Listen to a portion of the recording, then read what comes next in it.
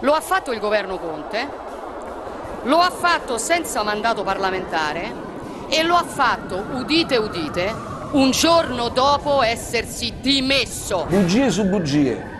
Ha detto che non siamo passati davanti al Parlamento, abbiamo discusso col Parlamento, abbiamo fatto, avremmo apposto delle firme. Io, il ministro degli esteri, sventolato un fax dell'epoca e per dire che cosa che abbiamo fatto in tutto col favore delle tenebre. Giorgia Meloni, non ti permettere.